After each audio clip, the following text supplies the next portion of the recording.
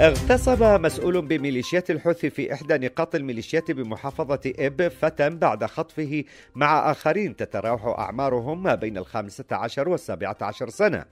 وقال مصدر حقوقي ومحلي في محافظة إب أن نقطة التفتيش الواقعة تحت روان بمديرية السبرة بمحافظة إب اتجاه الشرمان مديرية ماوية بمحافظة تعز خطفت عددا من الصبيان من باعة القات واغتصبت طفلا يبلغ 15 عاما.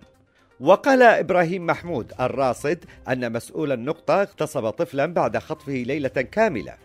وفي محافظة إب أيضا كشف مصدر حقوقي عن محاولات مستميتة للإفراج عن مدرس تحرش بعدد من الطلاب. وتقول بعض المصادر أنه اغتصب كثيرا منهم.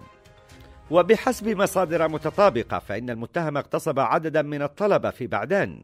وكان يدرس بإحدى المدارس للتغطية لمادة الإنجليزي. واعتقلته ميليشيات الحوثي في المديرية قبل أكثر من عشرة أيام لكن محاولات من نافذين بينهم مسؤولون بميليشيات الحوثي. وتظهر شكاوى قدمها أحد أولياء المجني عليهم لإدارة شرطة الحوثي ببعدان اسم المتهم ومحاولة إخفاء الأدلة. شكرا لمشاهدتك قناة الجمهورية. سنسعد باشتراكك بالقناة وتفعيل الجرس وإعجابك بالفيديو.